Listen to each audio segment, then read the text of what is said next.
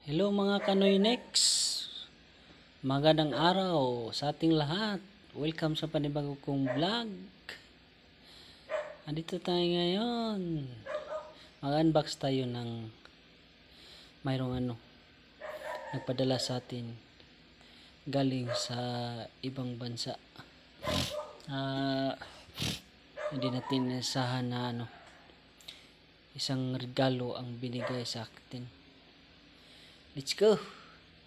Para ano ninyo guys kung ano yung ano, mga nilalaman nito.